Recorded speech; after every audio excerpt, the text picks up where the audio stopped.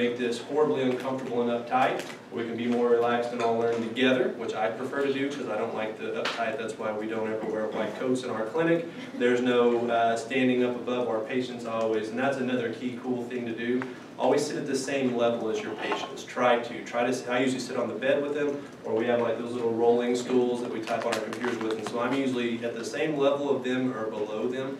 Because if not, you kind of come off like you know talking down to them. So just when you get out and practicing, the better you make friends with your patients and let them trust you, the better off things are. So once again, with my fancy stick and my clicker here, we will advance through this. Um, anybody have any questions so far?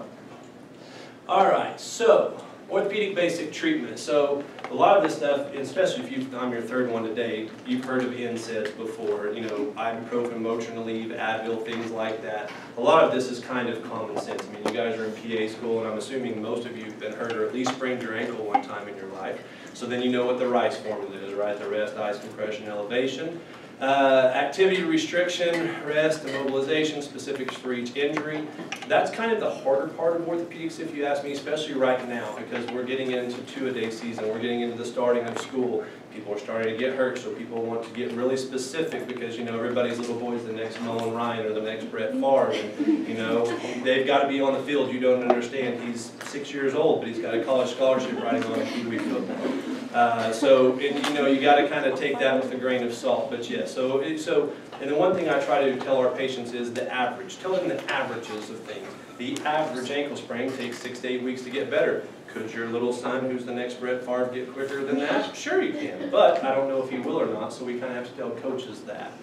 Coaches, quick tip on coaches too, when coaches start getting real pushy with it, what I always ask the parents to do is just have the coach give me a blank check, and then if all this goes wrong and your little boy has to have surgery, I'll let him pay for it. It's amazing how them kind of back off whenever they do that. Okay, so next, physical therapy, occupational therapy, highly underutilized for minor injuries.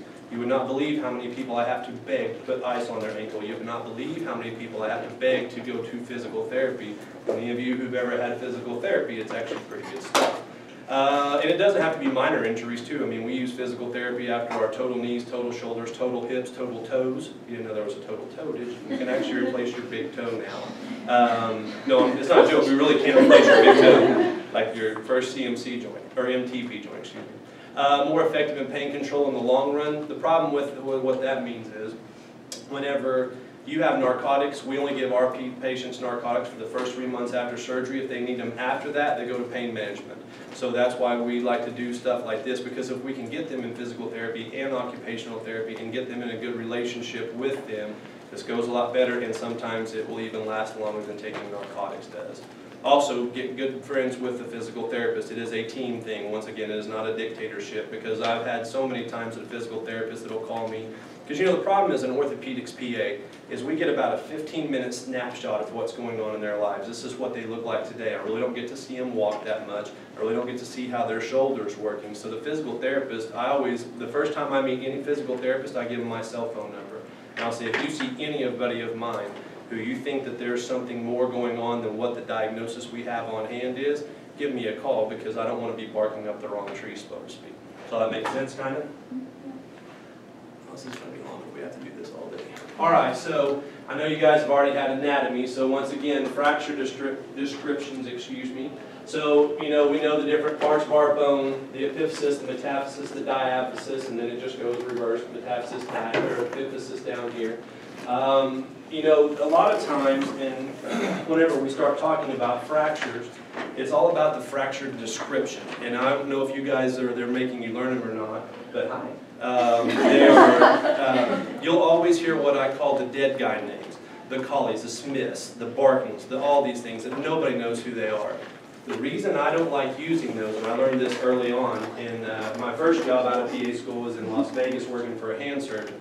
And we would get calls from the emergency room doctors and they would say, hey, I've got this and that, and nine times out of ten, it wasn't even right. So I don't like names. I would rather you describe the fracture to me. Does everybody know how to describe a fracture? Okay. Anybody? Which, which, what, as far as the terms, what piece do you describe? Do you describe the distal piece or the proximal piece? You're all looking at me glossy-eyed. Distal is away, proximal is towards, right? So let's say I had a distal radius fracture right here, right? So would you describe to me what the distal piece was doing or the proximal piece? The distal, right? So everybody knows, and it's the, in its relationship to the proximal piece. So if you have a fracture that is bent back this way, that is a distal radius fracture with a dorsal angulation, right? Instead of calling it a dead guy name, I want to know what it looks like. Is it translated? Is it displaced? Is it this or that or the other? So some doctors want to use, like I said, Colles, Smiths, Bartons, uh, things like that. To me, I would rather you just say, this is what it looks like to me, and then we go from there. Okay? Um, everybody's good on anatomy here, right? Okay. So once again, the extent of it, is it complete or incomplete? Cracker hairline, buckle, green stick, you guys know all this stuff. So basically, these are just the different types.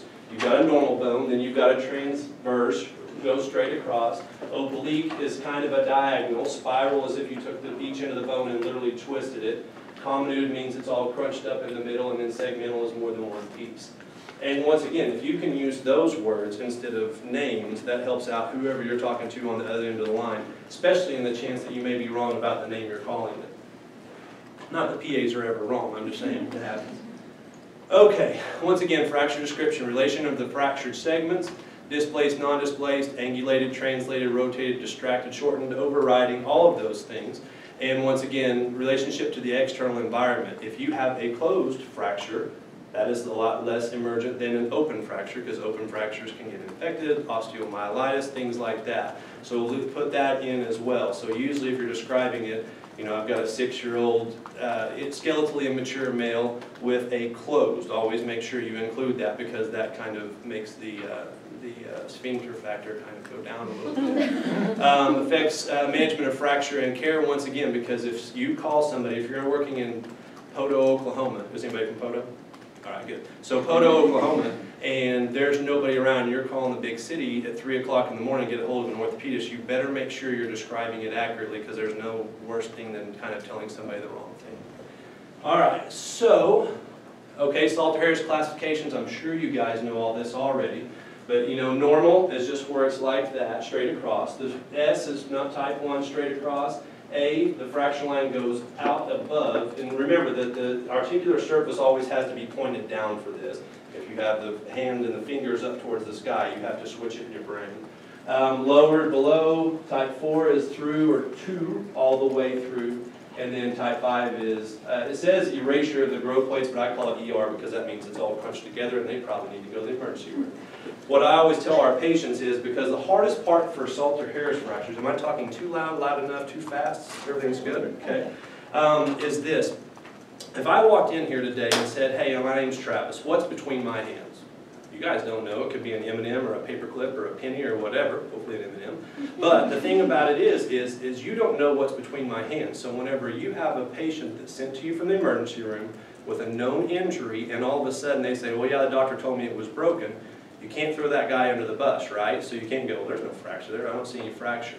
So remember this and write this down. Tenderness to palpation over an or percussion, which means to tap on it, over an open growth plate is a fracture until proven otherwise. Because a lot of times you will come in and people will have a number one. And then you want to go, I don't see a fracture, there's no fracture there. What are you talking about? The guy who sent you here is full, you know, but it's not. Because then you tap on it and you go, ooh, maybe they're right, maybe it is broken. So once again, tenderness to palpation over an open growth plate is a fracture until proven otherwise. Okay? So that's kind of how that goes. Um, also, there is a great book called Emergency, I think it's Emergency Radiology. I think you're the, actually the one that recommended to me. And it goes through and it actually has all of the false negatives and positives. Like if, I don't know if you guys have ever seen a skeletally immature foot, but all of the growth plates are transverse across the whole foot except for your fifth metatarsal, and it goes up and down. So it doesn't look like the others, so whenever Billy falls off his skateboard and the side of his foot hurts, well that's a fracture because it looks different than all the other ones. But actually your growth plate on that particular metatarsal is completely different than the other ones. So that's another good thing to remember, and it's a great book to have. I'll bring it next week uh, whenever I lecture, and you guys can look at it, those of you who are wanting to go in the emergency room or into orthopedics. Any questions on Salter-Harris? No?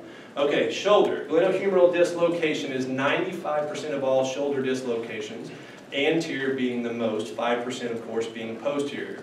The axillary nerve is the most common injured whenever it dislocates. Everybody knows where your axillary nerve is on your shoulder, right?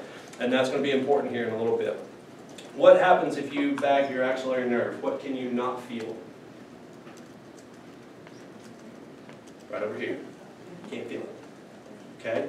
So deltoid uh, sensation. So if you are doing a closed reduction or something like that on somebody and they go, man, it's kind of funny, my shoulder feels better, but I can't feel my side of my shoulder. May want to do something about that. Most commonly caused by a fall on an abducted, externally rotated shoulder. So what I want you to think about is think about the quarterback who is fixing to throw the ball and gets hit backwards like this. Literally falling forward like Superman and coming back like that. Um, we actually had a lady who was, I think she was last week, and she was on a Stairmaster at the gym, and instead of hitting the down button, which makes it go slower, she hit the up button, so both pedals dropped. She still hung on and dislocated both of her shoulders. So it can happen any which way you want to, but that's how it kind of usually happens, is an externally rotated arm. Um, the only reason that would be, this is kind of a cool one I added in there, I think at least, three E's of posterior shoulder dislocation. So you know that 95% of shoulder dislocations are anterior, so why in the world would somebody have one that's posterior? Remember the three E's, alcohol, epilepsy, and electricity. When people have seizures, their shoulders come out the back for some reason more than they go out the front. When people are drunk and relaxed and they have a bad fall, they go out the back instead of the front sometimes. And then whenever you're electrocuted, obviously everything seizes up and it sometimes goes out the back and not the front. Okay, any questions so far? Okay, good. All right, shoulder glenohumeral dislocation. So examination. So if you look on this guy, so obviously there's a little bit of deformity here. This is the normal shoulder, this shoulder's sunken down, so you can actually see his acromion right there, you can see his, his humeral head around right there. And this is what I was telling you earlier about the axillary nerve. We'll come back to this, but it's slightly abducted, abducted, excuse me, externally rotated, loss of the rounded appearance of the acromion. So whenever you look at somebody's shoulder with their deltoid and their shoulder in joint, it should look round. Whenever not, like that, it kind of looks like you have a sock puppet and like that, and you can push in on it right there on their deltoid. Uh, they'll resist any movement at all because you'll say, okay, let me see your shoulder start moving it, and they will freak out however you try to move it. So just kind of let it hang there. Um, and, the and I'm going to come back to this to show you something. So the uh, shoulder, once again, dislocation, radiology, the three views of the x-ray with an axillary view. An axillary view on somebody who has a dislocated is kind of tough. Now you guys know the AP view. And you've probably seen the scapular Y that I'm going to show you here in a second. An axillary view is where you have them lay down on the table, and if you can imagine having a dislocated shoulder, and then me try to hold your shoulder out with the film back here, and then you try to shoot up through their armpit, because a lot of times whenever you see it, if you see an AP view, a lot of times it's not sunken down in front like it is, it's right there in the middle, and then when you take the axillary view and get it like this, now you see it's out. So it's all, it's all a relative thing. Some places will give you axillary views, but it really depends upon the patient. Are they going to lay down on a table and let you take their dislocated arm and go, now hang on, this isn't going to be that bad, and then yank it out there like that. Uh, once again, scapular Y, and I think we have an illustration of this. So this is obviously a glenohumeral anterior inferior. Remember the most common is anterior. And same thing again. Okay, so here's your scapular Y. And if you see, there's your scapular Y. So there's the, the two branches of the Y and then down. Obviously, this is normally where it's supposed to be anterior and posterior, okay? Um, so we'll go through this, and I'm going to go back to that picture of that kid. So associated injuries are Hill-Sachs deformity. So the way that I explain the Hill-Sachs deformity to our patients is, is that if your shoulder is a ball and socket joint right now, that socket, everybody thinks it's this socket like this. It's actually not. It's more of a plate. It's a very sharp plate. And so when your shoulder dislocates, your body says, hey, I'm kind of uncomfortable with this and I prefer my shoulder not be dislocated. So it tries to bring it back in. That's your body's mechanism of like this. Well, when it does, you take this soft bone and you smack it on that plate so it makes a little ridge. Kind of like if you dig your fingernail into a uh, styrofoam cup to like write your name on it, that's honest to God what it looks like. It just makes a little line right there. And sometimes, if it's their first time out, it will literally get caught on there. That's why that whole thing, has anybody in here, or you guys are probably too young to see Lethal Weapon, Mel Gibson, whenever he slams his shoulder on it when it's dislocated, no chance in hell he did it like that. He would break his shoulder. I'm just saying. It's cool for Hollywood, but you can't do it like that. uh, that I've ever seen. So once again, especially if they're a first-time dislocator, so if you ever have somebody that came into your office and said, man, I dislocated my shoulder and then I put it back in on my own, it's not their first time, and I'll bet you money on it. Uh, so that's a Hill-Sachs deformity, so it's literally where you make a notch in the humeral head, the articular cartilage of the humeral head with your glenoid, with that ring. Um, and then there's of course the labral tear, and everybody, and the way I describe that is our, our glenoid is once again more like a flat plate. So if you put a little rubber bumper around it, and the way that I describe it to our patients, I'm a very bad analogy guy, but everybody leaves knowing what they're talking about.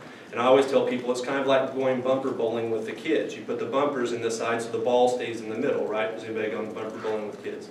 Uh, so it's like, it's like a circular bumper. That's what your labrum does. It keeps the ball in the middle. So obviously if your ball comes out, it would be very easy to imagine you taking a piece of that with it. That's called a labral tear.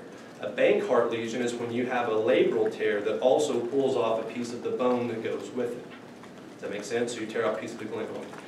Uh, treatment, close reduction through manipulation of the humeral head. Remember to get the post-reduction x-rays because if you think it's in and they go, yeah, it feels comfortable, you have to prove that it was in before they leave your office or emergency room or whatnot. Put them in an immobilizer. If you only have a sling, a sling is good enough, but put them in a sling and then use a, we call them Texas Ace wraps, but they're six inch Ace wraps, but they're really, really thick. So put them in their sling in a, in a parallel to the ground position, kind of right across their heart, and then wrap them with that Ace wrap a bunch of times around because the sling, remember, controls up and down, but there's nothing that controls away from your body, and that's what the Ace wrap would be for. Um, and then operative recurrent and chronic. Um, so that is that part of it. Okay, so this is, goes back to the reduction techniques, and these are one of those things that I don't recommend that you do unless you've seen it done before and then you kind of practice at it because believe me, it's not as fun as it sounds. Um, so the snowbird or the snowmass technique is probably our most common. Usually by the time people get up to us in the orthopedic uh, office, they've already been reduced nine times out of ten. But if they're not, or if once again you're out in the middle of nowhere, so what the snowbird or the snowmass is, is as you can see, this is your acromion and their humeral head and all that's down there. So what do you have a straight shot at right there if you were to give them an injection? Their joint, right? So what the snowmass technique is, is you get 20 cc's of lidocaine, you go right in underneath the acromion, and that's why I was talking about the axillary nerve. The axillary nerve lives three to five centimeters underneath the inferior portion of your acromion, right? So if I know that my axillary nerve is somewhere right there, there's underneath, so you want to hug right underneath that acromion and go straight in, and you put 20 cc's of lidocaine in their joint. Well, what does that do? Well, the lidocaine deadens all the capsular nerves, right? So therefore it's not as painful, but it also blows everything up. 20 cc's is a lot of fluid. So if you distract it, and then all you do, do you mind coming up here for me? the biggest thing that will keep a shoulder out is your deltoid. So if you have a big, strong bodybuilder in there, it's going to be an all-day event, right? So if you, go ahead, have a seat right here. So what we would do is, after once again finding the acromion and going right underneath it, just go straight in, flood the joint, let it sit there a little bit, kind of like if you're going to sew up somebody's finger, and then very carefully, no, just relax, your shoulders out, so just let it hang. so what you would do is, you would just start distracting it, and what you're trying to do is fatigue that deltoid muscle. Because right now, remember, their brain is going, I don't like this. And so if you've ever seen any little kid, pro football player, whatever, what's the first thing they do when they hurt their shoulder? We all do this, no matter who you are. The first thing you want to do is get as close to your body as you can. That's because of your deltoid, which is a very big, very strong muscle on most folks.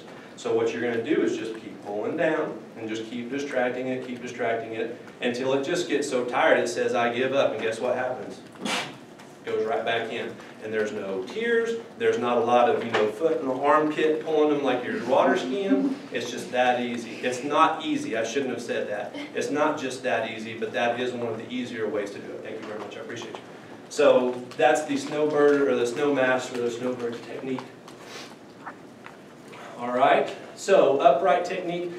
Yes, ma'am. Yes, sir. Mm-hmm. Whichever first. Ma'am? No, yeah. Okay, sir? Oh. All right. Um, you, you just said that you were pulling down on the arm. To distract, because you're, what you're trying to do is the deltoid is fighting against you. The deltoid and their traps and everything is coming up like this, right? So what you're doing is you're literally trying to exhaust their deltoid so that it will stop pulling so hard. And as soon as that relaxes, it's the same thing for a hip, if you've, if you've ever had to do that before. Um, but, and that can take several people to do sometimes. But as soon as you, as soon as that lets go, it all, and with this joint being distracted, remember you just put 20 cc's of fluid in there, it comes unperched off that and it just relaxes right back in. You don't have to physically like shove it back up or anything. Usually once they relax, you can, it's almost just like guiding it home a little bit. Ma'am, I have question, you're just raising your hand. yeah. You're raising your hand to show me he was raising his hand. Look at that teamwork. Altruism at its best. Uh, the Stimson technique is the, probably the second most common one. And that is this one, or some people call it a bed sheet. It's the same thing. It's you're seriously trying to um, uh, exhaust uh, the deltoid. So what you do is you have one of your companions or fellow practitioners or whatever. If they're laying on the bed, you put a bed sheet around it like that. Usually that guy gets his foot on it like this, and then you get a hold of their wrist, and you sit there and pull until they get tired. Once again, then it'll go back in. The hard part is unless they look like that first guy where you can physically just see it down and out, which if it's out, it's going to look like that, then I would still recommend the lidocaine because it doesn't hurt as bad, they're not as tense, and then they're gonna have a better experience with it so far. Okay, so this is the Stimson technique. There's nothing wrong with this one, it just takes a heck of a lot longer. All right? And then some of those other ones, honest to God, I don't know what they are, the upright technique and all that. Um, we use the Stimson and the Snowbird if we ever have to do it. Um, the hard part is sometimes like um, our group, I was in charge of the UCO hockey team for seven seasons. And so the hard part is, is if a hockey player comes over to you and goes, hey dude, my shoulder's out, what are you gonna do about it? I can't go, well, hang on real fast, let me go get my bed sheet real fast and all that. So there's always going to be this urgency, right? Well, first of all, there's never an urgency because you also have to be very careful that it's not broken. Because what if they have a proximal humerus fracture and then they go, well, Travis put his foot in my armpit and was pulling on it. I mean, sometimes that doesn't work out well. So you need to make pretty for sure that that's not broken before you start yanking on it. That's why it's nice to not get in a hurry, get an x-ray, know what you're dealing with. Where is the fracture? Usually you can tell it'll be out the front because this is dropped down and they'll have a fullness in their armpit. They'll go, man, it feels like I got something in my armpit. It's their humeral head. Um, so once again, don't get in a rush to get it back in. If you're out on the sidelines or whatever, if you don't feel comfortable doing this, just do the same thing. Any of you who ever cover, if you do orthopedics, more than likely you're going to be covering some teams, whether it be football or hockey or anything. And even soccer nowadays isn't really that much of a non-contact sport. Always just get you a big sling and an ace wrap in there because all you have to do is just sling them up, immobilize them, which is completely appropriate, and get them off the field and to somebody if you don't feel like you can do it. Like we had a we had one of our hockey goalies that had dislocated his shoulder. I can't even tell you how many times. And his was so easy. He would come over, and all I would have to do is take his wrist and just bring him straight up, and his would fall back in every time. I didn't. I didn't. I could do it with one hand almost because his came out multiple times, but he would never do anything about it. So you kind of got to know. You know, hey, is this your first time your shoulder's ever come out? Are you sure it's out? Does it feel like it's out to you? Because they'll know whether it's out or not. Okay? Any questions so far about anything? Shoulder dislocations, anything so far? You guys hanging with me? I know I'm your last one. We'll get through it, okay? Um, all right, so acromioclavicular joint injury. Injury to the acromioclavicular joint involving the coracoacromial and the acromioclavicular ligaments. Type 1 through 6 sprain uh, typically occurs from a direct fall or fall or direct trauma to the acromion. We call this a knockdown injury. And usually it's whenever you have something knock the side that hits their acromion. So usually it's a hockey player going into the boards after being checked. It's a football player leading in with their shoulder. Anything that you kind of hit like this, snowboarders get this all the time. Snowboarders break their wrist and they get AC separation. Skiers always tear up their knees and their back. So if you have a snowboarder who came in and goes, yeah, man, I was going down the mountain and I caught the front lip of my board and I kind of went in the snow like this, you can almost tell already it's going to be like that. And I'm sure through you guys' clinical phase, which you're not to yet, I don't guess, but you're going to start hearing things. And that's the other thing about orthopedics. A lot of times people just start telling a story and you're like, okay, you're, you've got a type 1 separation or whatever. You'll just get used to hearing it. Or they'll say, yeah, I was, I had my foot planted and I went to twist like this, asked my mom a question and I felt the pop. Okay, they've got a meniscal tear. You know what I mean? So you're going to start hearing these things and you'll get very, very good at it. Um, in, uh, once again, examination, so tenderness to palpation over the acromioclavicular joint. Uh, there's also something called a cross-body test or a crossover test, which is this one right here. So basically, you just have the patient And what will bother patients with acromioclavicular joint injuries is any kind of a hugging. So if they, I mean, I'm not saying to hug them, but you try to mimic it, you can if you want. But you basically just take their shoulder and start coming over like this, and they will die right there. They'll go, no, no, no, no, that hurts so bad right there. They also usually, whenever you get to the, we get to the empty can portion, for the rotator cuff injuries, an empty can test is where you put their arm at a 45 degree angle out like this, and they push up and you push down with their thumb down. That will light up their AC joint, okay? This other thing, this AC shear test, while I'm on this thing, I can't imagine you having an AC separation and me going, okay, little Billy, I'm gonna take my hands on the front and the back and I'm gonna squeeze the part that hurts on you really hard, and we're gonna see if that bothers you. I've never used that. I honestly don't recommend using it because remember, with an AC separation, when you get out of the shower the next time, just look, you see a little bump right there. If it's separated, that bump's going to be bigger. There's your diagnosis, right? So you don't have to squeeze on somebody to go, oh, I wonder if that bump's bigger or not. She's already checking hers. Look, didn't even wait for the shower. Good job. Um, so, once again, here's your different types. Types one, two, three, four, five, and six. Now, anybody watch OU football or follow it? Remember when Sam Bradford got hurt at Texas and he had a type 3 separation? Remember all the media throwing a fit about it because should he have surgery, should he not, he's going to the NFL, stuff like that. So the rule of thumb usually is one, two, three, let it be. Okay? Because a lot of times, well one, you can't even see it. You can't even see it on the x-ray. They'll just come in and say, look, I got hit, man, this bump up on my shoulder is really sore, but there's no radiological findings of any kind of an uh, injury. Grade two, and I wish I had a better picture of it, and I'll see if we can get one. But the way that you can grade a grade two off of an x-ray is the bottom, if this is my uh, acromion and this is my clavicle, the bottom of my clavicle will be 50% higher than my acromion. So you can actually just look at it. If it's 50% higher, that's a type 2. If it's 100% higher, it's a type 3. That's the best way to look at it, and I'll see if I have a picture on here. Oh, and of course, those are blacked out. Let me see if we can go through here real fast. Can you, if you guys can blow this one up on your, on your computers, I mean, I don't think this little mouse will do it. But, but basically, the bottom surface of the acromion should be, I'm sorry, the clavicle should be equal with the bottom surface of the acromion. That's a type 1 with injury and with pain. A type 2 is when the bottom surface, once again, of the clavicle is 50% higher. So if you draw a line right down the underneath surface of the clavicle, it should hit the acromion right at the halfway mark. Type 3, it will be completely above it. Type 4, going way, way back, as, as you can see here, is it goes behind it.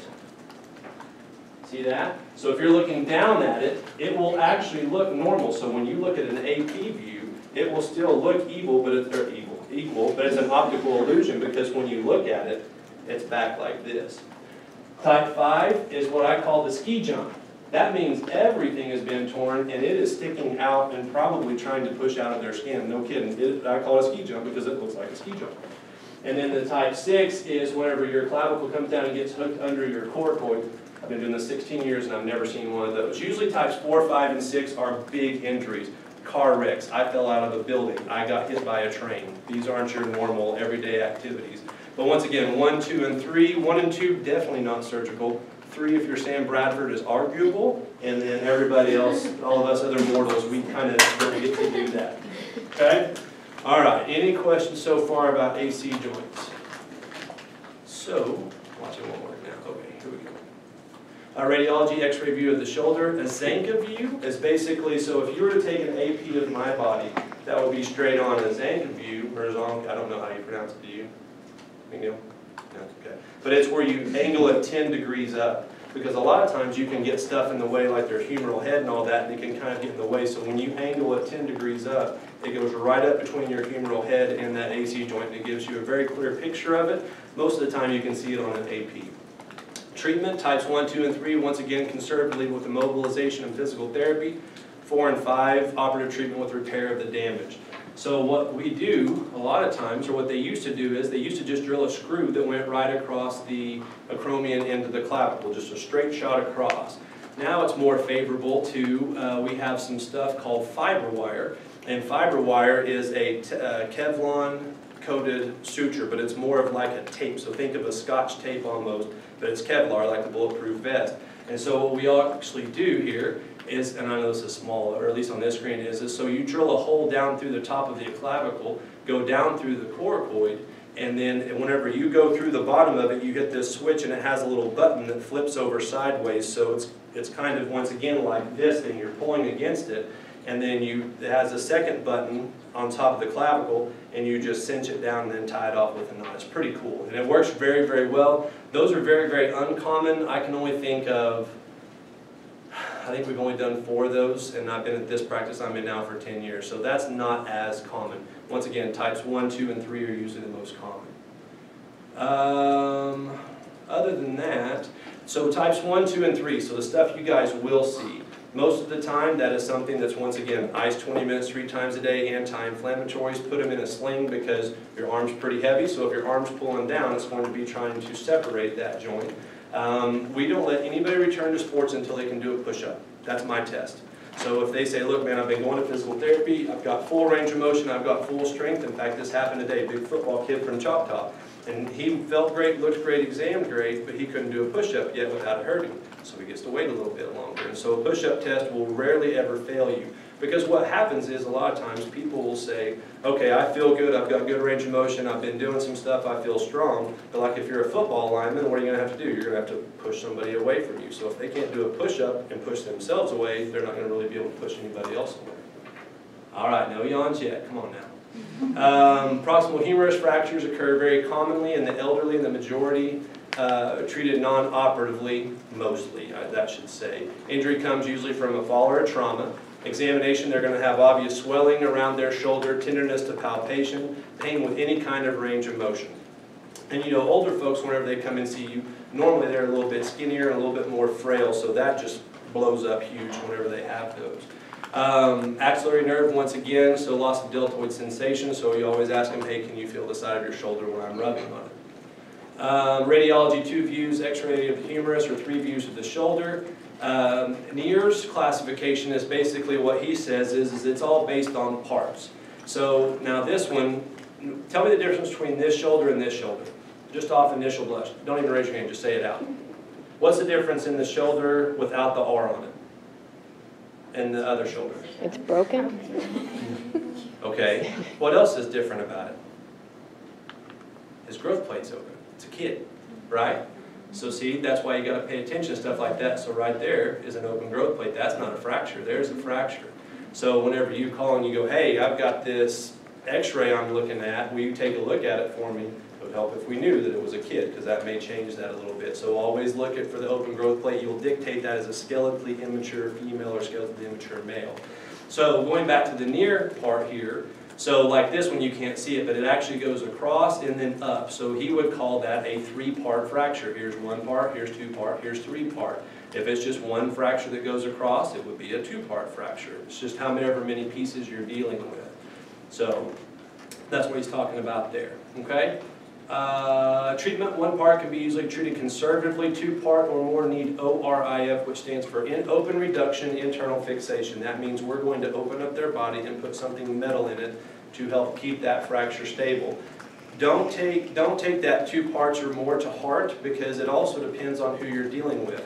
If this lady's 80 years old and the only time she gets up to go to the bathroom and take her teeth out, you're probably not going to take her to a major medical surgery, right? A lot of these things, no matter how bad it is, if, it, if they're old enough, first of all, their bone's going to be not good enough to start hammering on. Second of all, they're probably not active enough, and a lot of times if you'll just let them heal in, unless it is truly dislocated and broken, a lot of times, as long as somebody can raise their arm up to 90 degrees on most of our older folks, they don't care. Because if you can get it to 90 degrees, you can do your hair, you can take out your teeth, you can do whatever you want to, okay? Uh, so once again, I don't like rules like that just because you think, well, it's two parts, Travis said we had to fix this. That's not, that's not an absolute. Acute management, once again, if they come into your office or emergency room or minor care clinic, um, you will immobilize them. If you have an immobilizer, I always recommend that people get immobilizers. Does everyone know what an immobilizer looks like? It's very, very easy. It's a sling and it has a second strap that goes around your waist. Some of them, these big gray foam things that have little wrist cuffs, those aren't comfortable. If you're buying them, don't buy them. Just get a sling with a strap on it. That's the best thing to do. No pillows. You don't need the pillows either. Um, complications are, of course, adhesive capsulitis. Adhesive capsulitis we're going to come back to. So mid-shaft fracture, same mechanics as above, um, which obviously would mean mid-shaft. Examination, radial nerve is most commonly injured. Uh, decreased wrist, finger, and thumb extension. So if they say, look, I've got this mid-shaft or humerus fracture, and it's kind of weird, but my, my wrist keeps hanging down, or I'm having trouble extending my fingers. You guys have had all that, right, neurology already? So you know what the radial nerve does. So sensory loss at the dorsum of the hand, first dorsal web space. Uh, once again, radiology two views. A lot of times old people will not let you get more than one, and if you can even get one, it's a Christmas miracle. So kind of take what you can get. If you can get two, go ahead, but one may be all you get sometimes, because they don't want to move it around because they're scared usually, uh, for good reason. Um, treatment, initial treatment can be with a what they call a coaptation or a Sarmiento splint. Has anybody ever seen those splints that it kind of looks like half of a shoulder pad and comes down and then it has another splint on the inside with the Velcro? No, okay, good. Well, there, it's not a popular splint, but it, it is it is useful with this.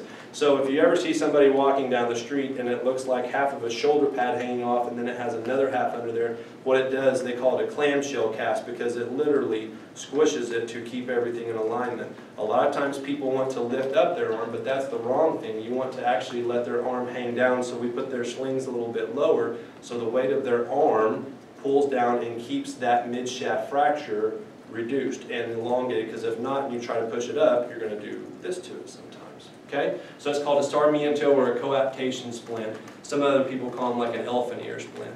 Um, surgical treatment with an ORIF, plate versus nail, it just depends on the fracture patterns. Uh, sometimes they'll put what we call an intramedullary nail, make an incision on the side and drive nail down just like you would their tibia, or just a plate and screws like you would fix a distal radius fracture or something like that. Complication, once again, radial nerve palsy and or a non-union. Does everybody know there are unions? Have you guys gone through that? Okay, so if I have two pieces of bone and they come together perfectly and they grow back together, that is a union. If I have two pieces of bone and they come back together and they grow together but they're displaced, that is called a malunion. And if I have two pieces of bone that stay in a good position or not in a good position and they never go back together, that is a non-union, okay? And so, uh, or an incomplete healing. Um, so those are kind of things to know too, especially if you have somebody that came in, like I had a lady that came in the other day, that had a fifth metatarsal fracture two years ago, and she had a non-union, but when she hurt her foot again, the emergency room doctor said that she had a new fracture because it hurt, and there's a fracture there. I can see it on the x-ray. Well, he didn't know that we had already seen her two years earlier, and it just didn't heal. Um, and usually the only way you can find that out with is either A, hurting yourself again, or B, you can always get an MRI or a CAT scan. Here's a good example of a, of a mid-shaft humerus fracture. And believe it or not, you could almost leave that one alone.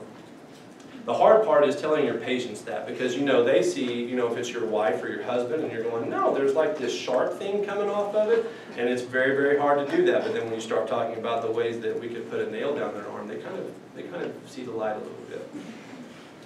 Okay, clavicle fractures. Going back to this though, because I don't want to go with this stuff too fast. Any questions about this stuff that we've covered so far? I know on the last one, stay with me. But is everybody good so far on everything we've talked about? Okay. All right, so humor, or, um, shoulder clavicle fractures. Clavicle fractures typically in young children, not necessarily always. We actually see it kind of across, across the board. Most common is the middle third. 69% of them is straight in the middle of your clavicle injury caused by a fall on a shoulder. So it'll tell you about my last clavicle fracture that I had come through the door, this guy came in, he was in it, I gosh, he was probably 25 or 30, but has a mom with him, so I knew something was wrong. Um, and so you could tell he was obviously embarrassed about it, and I said, well, okay, tell me what's wrong. And he said, well, I, I fell under my shoulder. His mom said, no, tell him the truth. And he said, okay, so we were with some of my friends, and has anybody ever human bowled before? Okay, so, right, so human bowling, so, and I don't, I think there's different versions of it, but his version was, some people were on a four-wheeler, some people were on a, um, like an inner tube, like you'd pull behind a boat, but it was on the land, and then there were a group of people standing over here.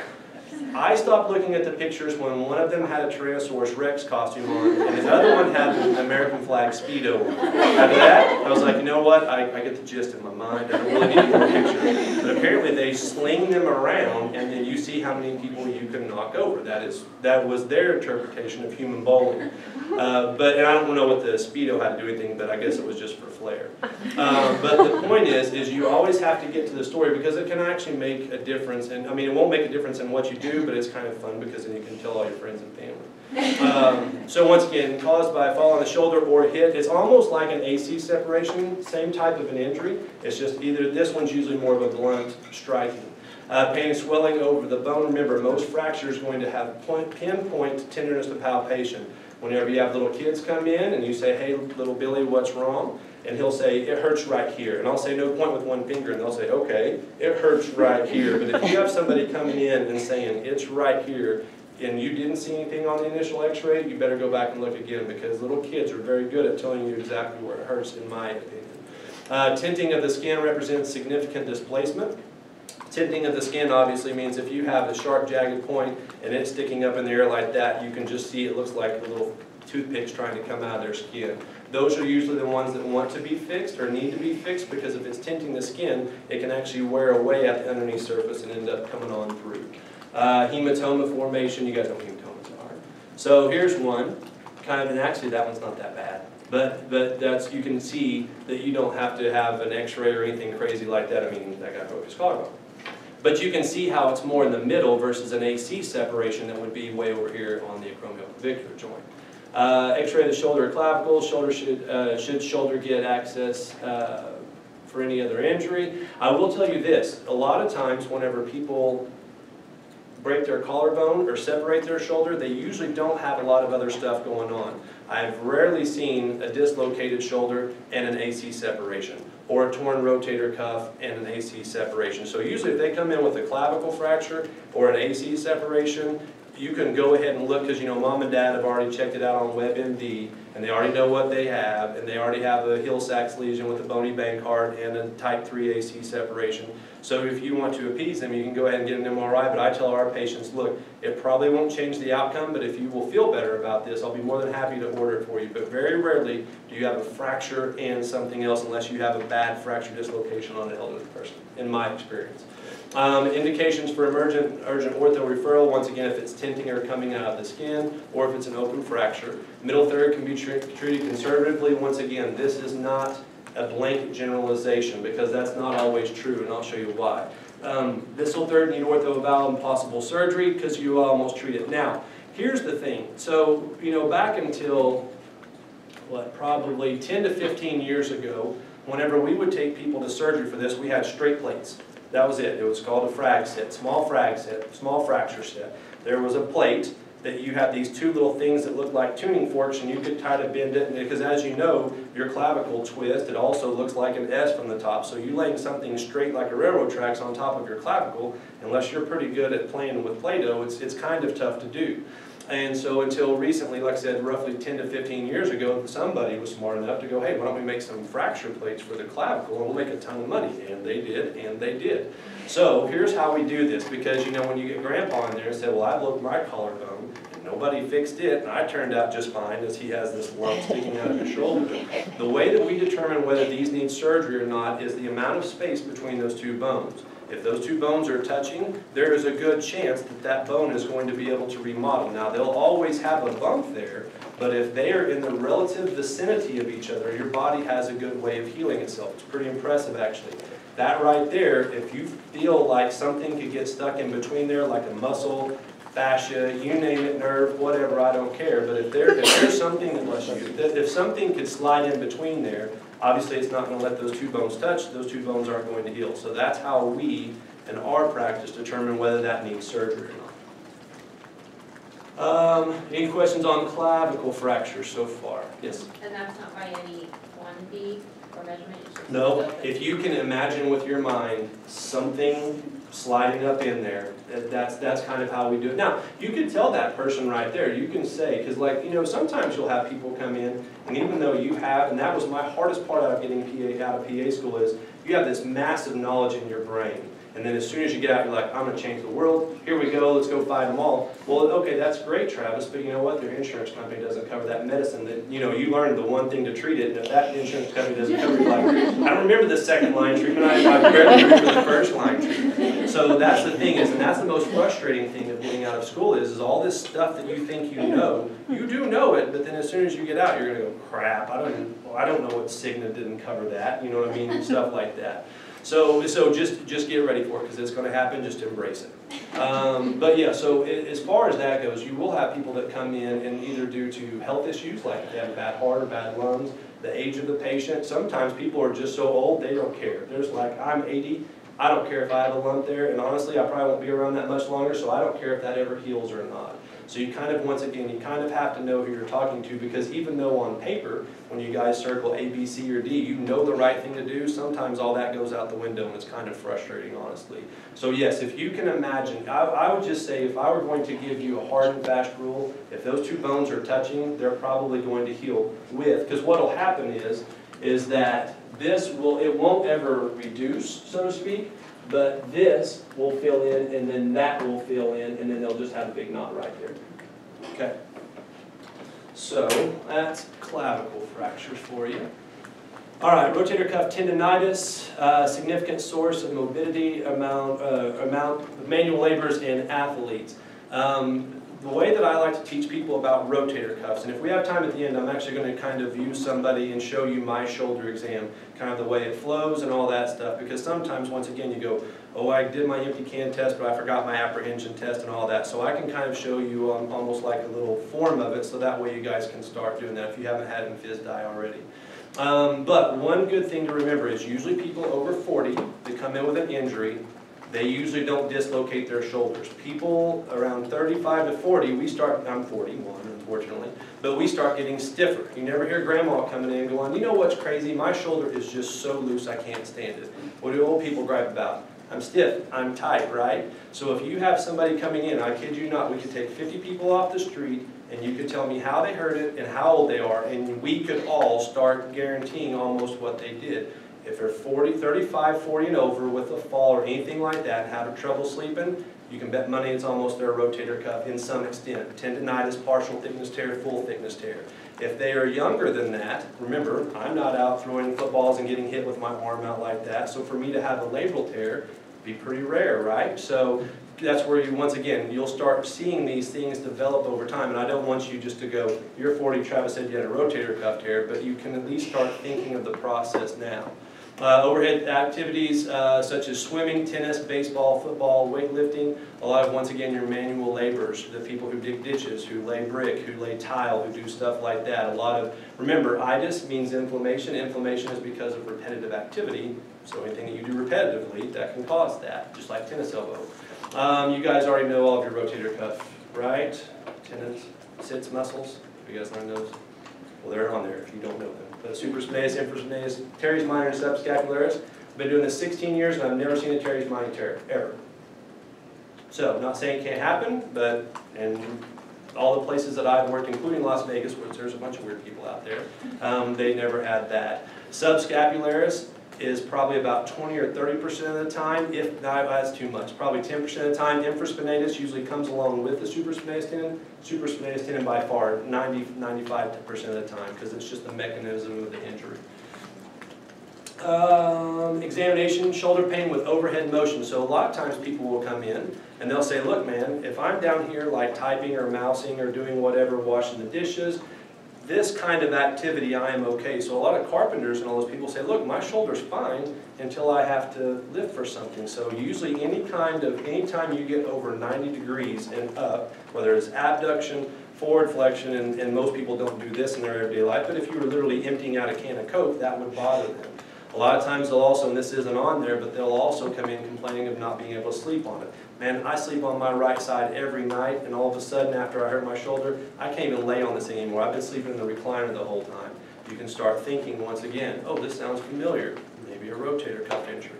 Special test, uh, Neer is impingement, so some of these were headed under the wrong ones. So the Neer test is for impingement. So let's go back to anatomy. Remember your acromion, how it looks like a bridge that kind of shoots up like that? Some people have different types of acromions, type 1 or type 0, type 1, and type 2. And the bigger the number, that acromion starts hooking down. So if you imagine me standing to the side, my acromion is sticking like this, so if I have a type 2 acromion or an impingement syndrome, whenever I raise my arm forward, my rotator cuff is going to impinge or pinch on it. That bone is there and it's not letting me raise my shoulder up. That's what an impingement syndrome is. A hawking is, and you have to be careful with this one, because I kid you not, I've had five old ladies hit themselves in the face.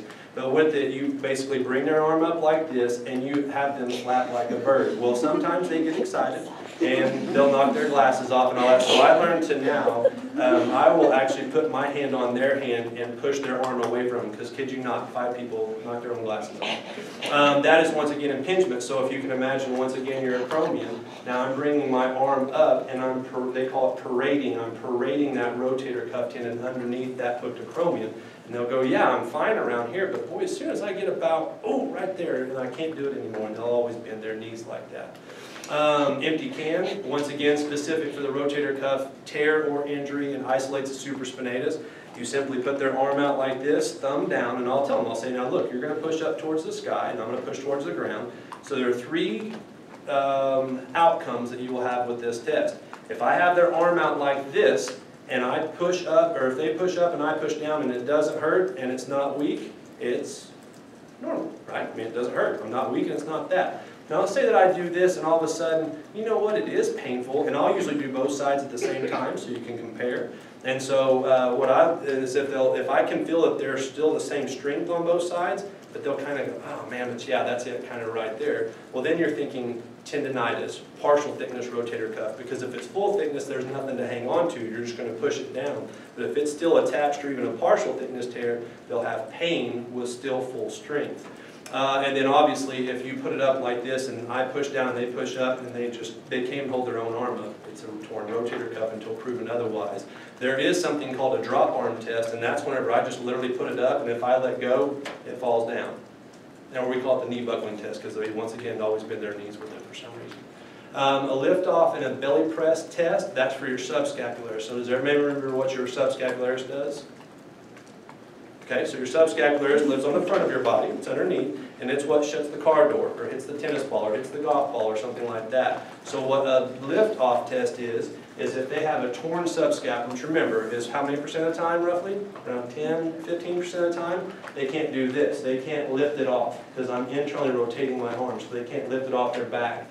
A belly press test, some people call it the Napoleon's test, because Napoleon always used to stand like this, and you say, okay, you push your hand on your stomach, and I'm gonna try as hard as I can to pull it off, and you push down. I easily lift it off, their subscapularis is not working, so that's called the lift off or the Napoleon sign uh, for the subscapularis. But once again, not very rare, or not very common. So this is once again the Neer's test, so you can see how he's standing behind her, and all you do is just passively lift her arm up, so for him, whoever, and, and they'll get usually about right here, and they'll go, yeah, man, it feels like something's getting caught in there, and that's a Neer's test for the impingement syndrome. Okay? Uh, Hawkins-Kennedy, so see easily, come up and punch yourself in the face, right there.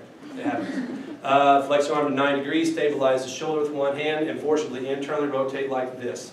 Now they say you can do it with the thumb pointed down and all that stuff if you just do this. And once again, that's kind of a specific but not very sensitive test, or maybe flip those around. Um, I usually don't do the Hawkins test that often. Uh, but once again, if they have any kind of impinge, uh, pain, it'll be impingement. Uh, rotator cuff tendonitis and or tear. So the red part right there is kind of their pain-free zone. Once again, they'll say, man, if I'm down here doing this and stuff, it's fine. But whenever I start coming up, and it's actually pretty interesting, but whenever you have them do abduction, from about here to about here, just like that picture says, you'll kind of see them wincing. And after they get past that sticking point, they can do this all day long because they've already beat gravity. Their arm's are already up in the air, so they can do this all day long. But once they start coming down, that's when you'll see them go, okay, hang on real fast, give me a second. It's the way down. Most people will tell you that their shoulder hurts more coming down when they have a rotator cuff tear because that tendon is grabbing on as their arm is falling down. Okay. Uh, treatment, non-operative uh, for the tendon, this is the tendonitis portion. Non-operative, once again, basic orthopedic care, icing, anti-inflammatories, uh, formal physical therapy, steroid injections. This says no more than three or four per year. The place that I currently work, we will not give you more than three per lifetime into any one joint. Into your knee, into your shoulder, into your hand. In fact, the smaller the joint is, we won't even give you that many. If it's your shoulder, you get two. If it's a carpal tunnel, trigger finger, uh, de Quervain's tenosynovitis, uh, tennis elbow, it's usually one, or maybe two if you convince us, but usually one. So three or four the year, and, and the reason on that is steroid injections can be what we call catabolic. And catabolic obviously means that they can tear things down or weaken them. So we don't want to keep putting those in there because the question is, if you keep having to get steroid injections into your shoulder, why? Why, why haven't we figured out what's wrong and fixed it? Or just got on with it? Now, I will tell you there's exceptions to that rule, one being, once again, our elderly folks. If you're 85 years old, your rotator cuff will not heal even if we take you to surgery. So if we just need to keep you pain-free and happy, we'll give you steroid injections every three months for the rest of your life. But that's after you've determined that they're not a surgical candidate, okay? Um, once again, can cause tissue necrosis, physical therapy, occupational therapy. Once again, underutilized, don't just throw pain medicine at it, which, as you guys have seen on the news, everybody's cracking down on narcotics for a very good reason. Um, and uh, so, once again, that's not something that we do even that long, even after a, a major surgery. Uh, rotator cuff tear, same as previous, uh, except the tendon is separated from the muscle. It doesn't happen like that. That whenever I read that sentence, I should have changed this. I'm sorry. It doesn't. In real life, the muscle doesn't pull away from the tendon. The tendon pulls away from the bone. Whenever we go back, I don't know if we can see it or not.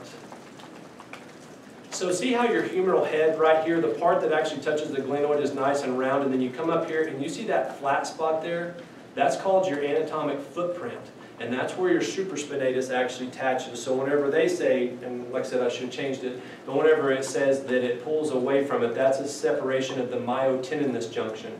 And it doesn't happen like that once again. Usually what happens if this is my supraspinatus and this is my that footprint, it pulls back like that, or it will split like that, or sometimes even come up like that. Um, the rule of thumb is, and this is a little aside, but usually if a rotator cuff tendon is more than 50% torn, Okay, and some radiologists, when you order MRIs of them, they will describe it to you as a certain percentile tear. Some of it will call it a um, full thickness, obviously that's 100% torn, um, or high grade partial thickness, which is more than 50. Some of them will actually give you, and I don't know how they do it, but some of them will actually say like 47%, which I don't know how they do that. Um, but if it's 50% or more torn, the statistics are that somehow, some way, someday in the future, you have a higher chance of tearing that. That'd be like me tearing a piece of paper 50% in half and sticking it out the window as we're driving. There's not a guarantee that it's going to tear, but there's a bigger guarantee than if it was not torn at all. Uh, now, if they come in and it shows a 30% tear, yes, it is torn, but we're still going to try our best uh, to keep uh, to keep you out of the operating room. Um, another kind of fallacy about rotator cuff tendons is they actually don't scar in. So if you have a 30% tear today and you don't do anything to make it worse over the course of your life, when we re-MRI it 10 years from now, it's still going to be 30% or worse. So people say, well, I don't want to do surgery. It's, it's not that bad. Let's just let it scar in. Rotator cuff tendons will not scar themselves back in and will not rejuvenate themselves like most other things will. Um, that's why if you have it, like it's, it's there. Um, MRI the shoulder to confirm the diagnosis. Uh, that's pretty much the bread and butter of it. 40-year-old guy comes in, hey, I was coming, we actually had a guy that was coming out of his attic the other day, and his foot slipped off the stairs, and so he had to catch himself like this, kind of like a T, uh, and he tore both of his rotator cuffs at once. Uh, so that guy is pretty stereotypical. Hey, I have an injury, I'm a certain age, I can't do this, you need an MRI. Um, treatment, surgical repair is outpatient. Uh, they're immobilized for the first six weeks. I always tell our patients the first six weeks suck. It's you can't move your arm, you can't drive, you're on narcotics, you can't sleep very good. I don't know if you guys have ever tried to pull up your pants with one hand, but it's not as easy as it sounds. So your life is significantly altered for the first six weeks. After that, we get them going pretty quick and we give them their arms back. But that does kind of mess things up because even if they do have a sit-down job, they can't drive there. So not very many people have spouses unless they don't work that can take them to work. So people are usually pretty angry the first six weeks. Um, if the patient waits too long to have it repaired, there's a chance that the tendon can't be fixed. This has actually happened. So what happens is, is if you leave a tendon pulled off from the bone long enough, you'll start to get these fatty deposits in it. So let's say that you wait a year, a year and a half, and you come in and you say, okay, I wasn't ready before, now I'm ready. When we put those sutures in there and try to start pulling that back down to the bone, it just pulls through. It's like sewing hair together. And then they get all mad that they wasted money on surgery and it couldn't be fixed. Uh, four to six month rehab, but you're back to normal at one year. So the way that I teach our patients is, is at three months you're going to be about 50% good. At six months, you're gonna be about eighty-five-ish percent good, which is usually when we cut people loose. And then at one year is what I tell people, whenever, at one year is whenever I can call you saying, let's go arm wrestling, hunting, fishing, dancing, whatever, and you'll go, all right, let's go. That's at one year. Up until then, you'll go, eh, I just had shoulder surgery about nine months ago, and so people aren't usually very confident until around the one-year mark. Um, everybody okay so far? We need to stretch it out some, just push through, plow through. I'm doing good, it's not even four o'clock yet, right? Almost an hour early. Um, okay, so, uh, this goes, we need to go labrum tears. Okay, so a labrum injury, as I said before, your labrum is a little